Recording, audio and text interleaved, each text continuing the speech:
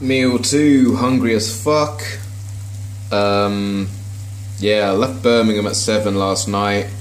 Had to go to my boss's um, stroke company owners. Uh, basically to do a stock changeover for next week, and then we ended up having some big fucking meeting. Didn't get out of the place till I don't know what 10, 10.30. I got home at midnight.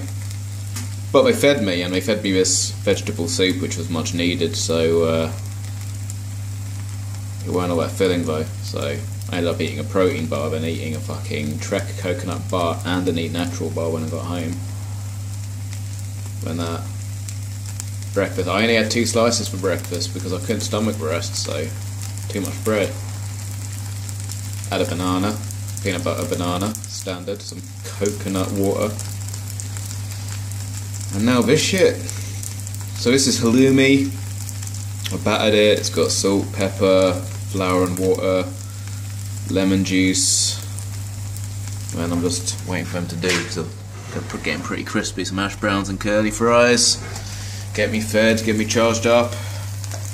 Ready to watch some Diego Costa magic. See uh, Petr get his goal annihilated.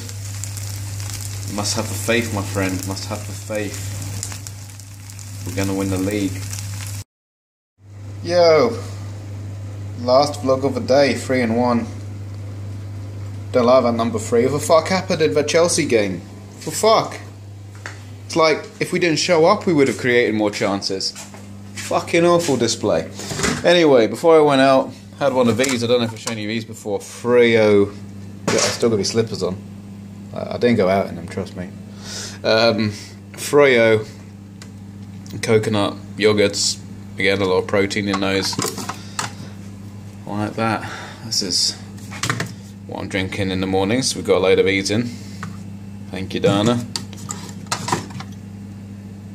Something to do with Dana's love for cider, I guess.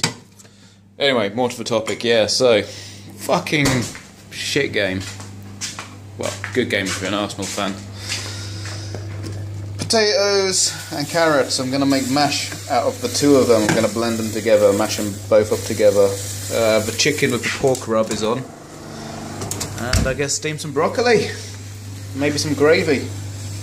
How's that?